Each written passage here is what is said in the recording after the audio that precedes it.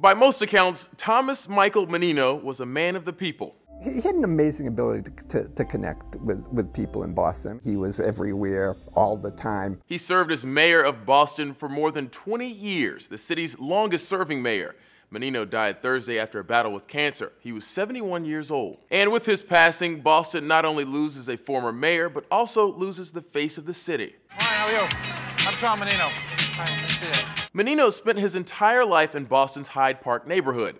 He represented that neighborhood as city councilor for nine years and later became mayor in 1993, Boston's first Italian American mayor. He was the face of Boston's urban development and was nicknamed the Urban Mechanic for revitalizing the city through improvement projects. He was also the face of Boston sports fans. Menino is credited with helping save and renovate Fenway Park when there was, in fact, a plan to demolish the century-old stadium in the early 2000s. Menino represented Boston's so-called racial harmony he told the New York Times one of his proudest accomplishments was making the city more hospitable to immigrants and minorities. And when the Boston Marathon bombers attacked the annual race in 2013, Menino, then in the hospital, checked himself out. It was my job as mayor to be, out, be with the people. In remembering Menino, President Obama described him as bold, big-hearted, and Boston strong.